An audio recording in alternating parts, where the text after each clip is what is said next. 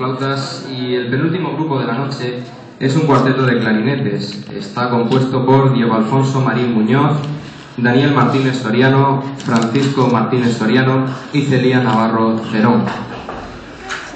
Un aplauso para ellos.